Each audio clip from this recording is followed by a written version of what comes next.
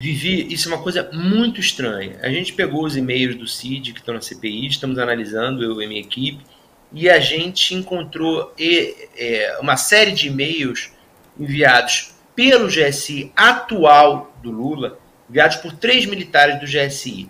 Márcio Alex da Silva, que é um militar do Exército, Dione Jefferson Freire, que é da Marinha, e Rogério Dias Souza, que também é da Marinha. Os três trabalham atualmente no GSI do Lula e trabalhavam no GSI do Bolsonaro.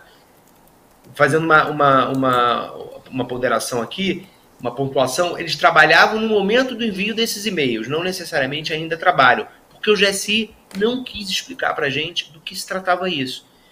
O CID recebeu informações sobre detalhes de segurança, esquema de segurança das viagens do Lula a Pequim e Xangai esse ano, a Foz do Iguaçu, a Boa Vista, é, um retorno dele de, da viagem da China a, a Brasília, tudo isso passado por um e-mail do ajudante de ordens do Bolsonaro. Qual é o sentido disso?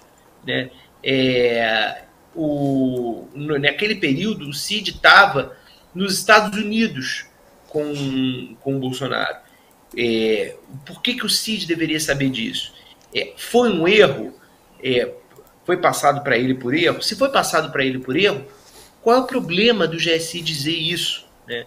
O que fica muito estranho é, mais uma vez, essa postura do GSI, que lembra a postura dos militares do governo Bolsonaro, não a postura que os militares estão tentando construir no governo Lula, de não responder a uma demanda de imprensa.